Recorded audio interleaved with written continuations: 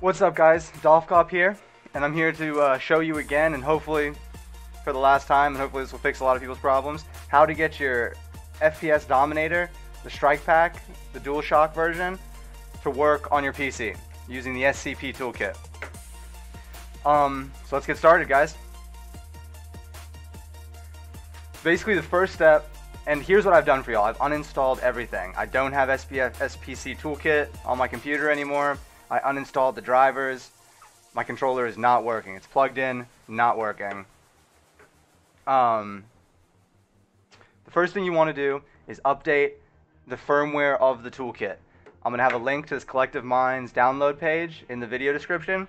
You're going to want to go to the Windows, download the Windows Updater here. You'll get the CM Updater tool. And this is important, guys. It'll help get rid of lag and some of those issues that everyone was having. Where did my updater tool go? Oh, there it is. So no devices found.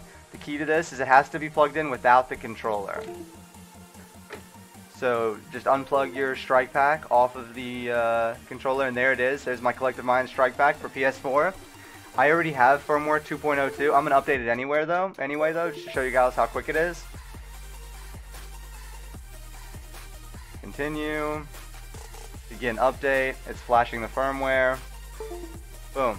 Get the get the check, you're good to go. You can exit out of this. Go ahead and plug this back onto your DualShock controller. I got a yellow light flash as soon as I plugged it in, but nothing else. It's turned off and it's not operational as you can see by the controller GUI that would pick it up. It says disconnected. The next step is to go to the next link in the uh, description and it'll be the SourceForge link to the SCP toolkit. You're going to want to download it. I'm doing this again for y'all, just showing y'all every single step. That's my, my fourth download of it. You can go ahead and run it. This was a pretty like streamlined version. I agree. Install it wherever you want. Just let it do its thing. I don't touch any of the features. I, I know I only need a little bit of it, but I'm not sure what I do and don't need. That was me giving it permission.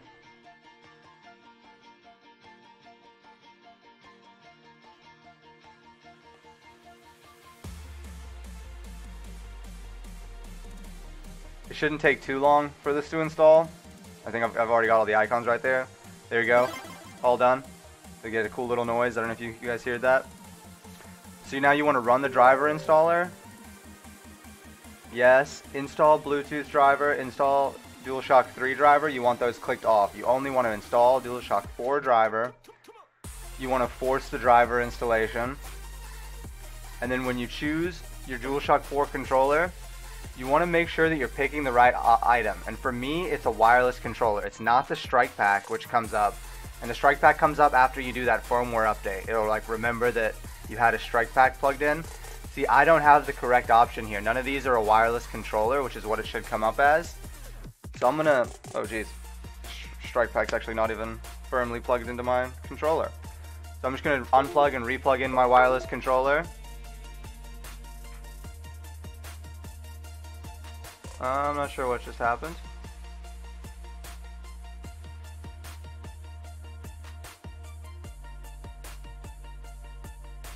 I'm to exit from the installer and just open it up again. Make sure you click the right settings. And you want to, it's not controller for Xbox either. That may pop up because like Steam is recognizing the controller. You want to do wireless controller. Install the wireless controller driver.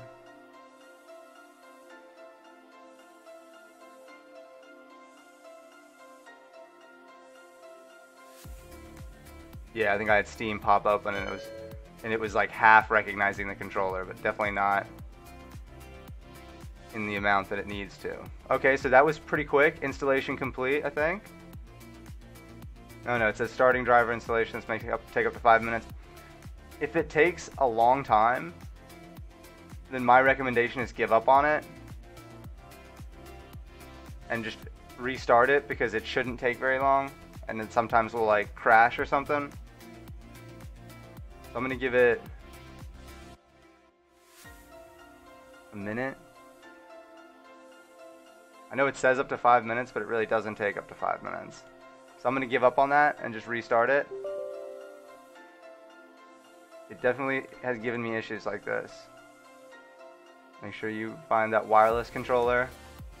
It's not the Xbox 360 controller or the anything else, and that stuff may pop up just because I have Steam on my computer, and Steam's all about it. And I have another video that goes more into detail of that, which you definitely should check out. Start the install again.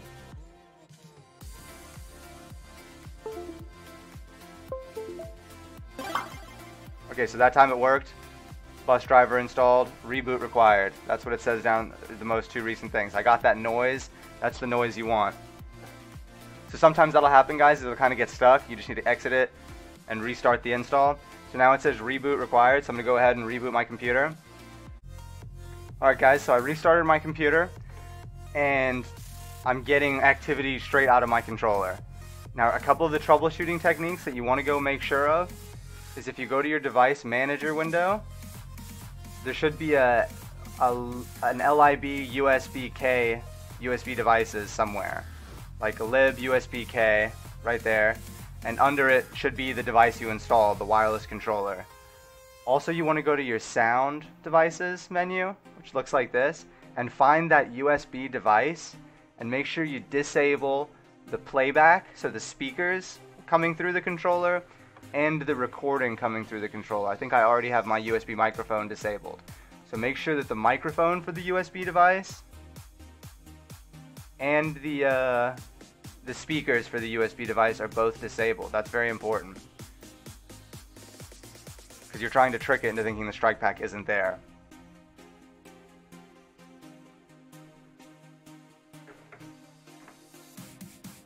Now I'm going to power up Fortnite.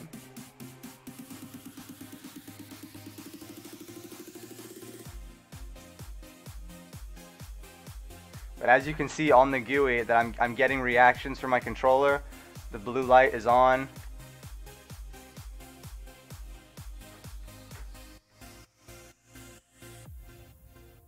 I think that was one of, the, so a couple of the major keys for troubleshooting, I believe, is that your firmware needs to be updated. Your audio settings need to be correct in that it needs to all be turned off for the USB device. You can't have any of the audio settings on. Um, and then when the SCP toolkit is kind of not immediately finishing the driver install, like quickly just exit out of it or click, click like exit away, just end the program and just restart it and do it a couple of times. And it should be able to get it done. I'm to give it a second to show y'all that it's working in Fortnite.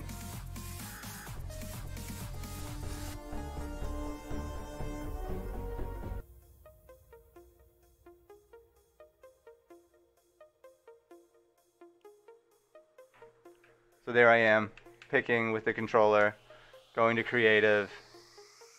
When I hit the paddles on the back, I'm getting X and circle response. I'm not hitting X or circle, as you can see, but I'm getting that paddle response. Selecting and going back. Um, and as you can see, there's there's no lag, like back and forth real fast. Boom, boom, boom, boom, boom. So I don't I don't have any lag. And I can I can definitely hop like y'all can see on my stream. I don't get any lag. Um, so let me know if this helps you guys, please. Uh, I hope it does. I hope that we can all figure this out together. It sucks that you guys have been having so many problems. Um, I even had some problems this morning after I uninstalled everything and suddenly was like, oh geez, what's going on now? But those were all the things that I think are most important. Hopefully that'll get you guys up and running. So good luck, everybody. Make sure you like and subscribe.